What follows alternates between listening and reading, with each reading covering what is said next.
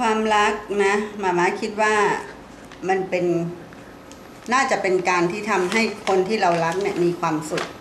แล้วเราก็มีความสุขไป เพราะว่าเขามีความสุขแล้วเราก็มีความสุขไปด้วย ความรักคือความไว้ใจซึ่งกันและกัน และยอมเสียสละในสิ่งที่เราอยากให้คนรักของเรามีความสุขรักก็คือการอะไร ใกล้ชิดแล้วก็ ความเห็นอกเห็นใจ เอื้ออาทรต่อกัน ถึงจะเกิดความสงสารและถึงจะเป็นความรัก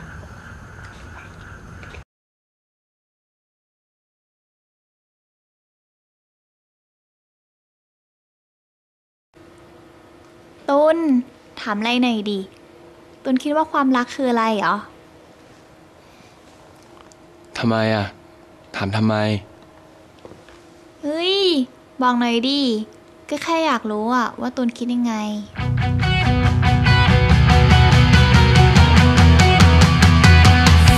สุดท้า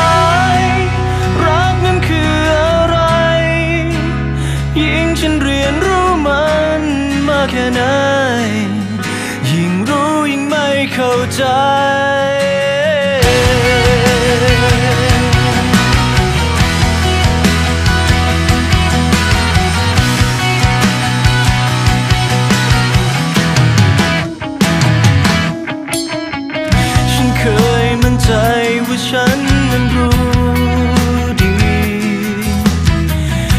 ใครทั้งที่ต้องทุ่มชีวิตและไป ก็คิดไว้แล้วว่าคงเพียงพอ ก็คิดว่ารู้จึงเทหัวใจ ใช้ทั้งชีวิตและใจของเธอแล้วในที่สุดเมื่อเธอต้องรำ